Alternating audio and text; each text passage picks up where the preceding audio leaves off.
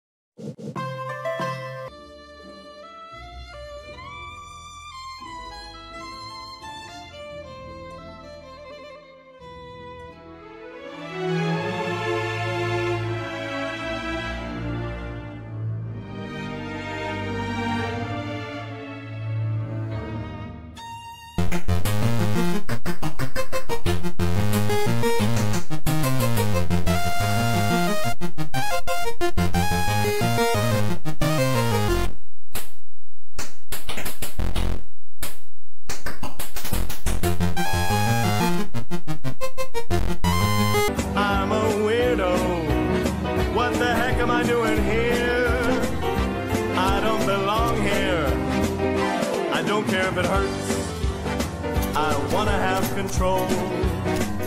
I want a perfect body and a matching soul.